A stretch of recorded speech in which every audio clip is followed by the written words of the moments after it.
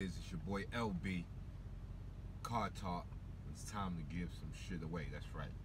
Got some 52 block flash cards here. You know, throw them down.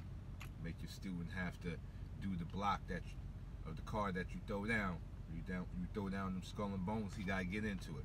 So we got 52 block flash cards right here. So, um, boxing questions as always. You know how I do around these parts. So here we go um, I need you to fill in the sentence.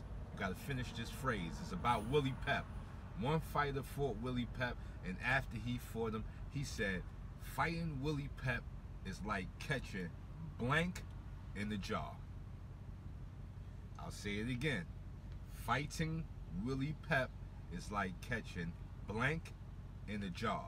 You have to fill in the blank. What did he say?